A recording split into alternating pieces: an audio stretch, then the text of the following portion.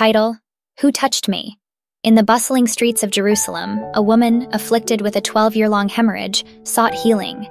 Hearing of Jesus' miraculous abilities, she reached out in faith, believing that merely touching the fringe of his cloak would bring restoration.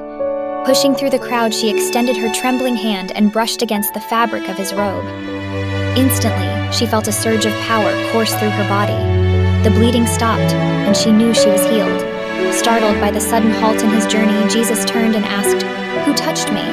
Luke 8:45. His disciples, bewildered by the question amid the pressing crowd, replied, Master, the people are crowding and pressing against you. But Jesus persisted, sensing that healing power had flowed out from him. Trembling with fear and trembling, the woman fell at Jesus' feet, confessing everything. With compassion, Jesus assured her, Daughter, your faith has healed you. Go in peace. Luke 8:48. This encounter, recorded in the Gospel of Luke, showcases the power of faith and the compassionate nature of Jesus. Despite the throngs surrounding him, Jesus noticed the touch of faith amidst the crowd.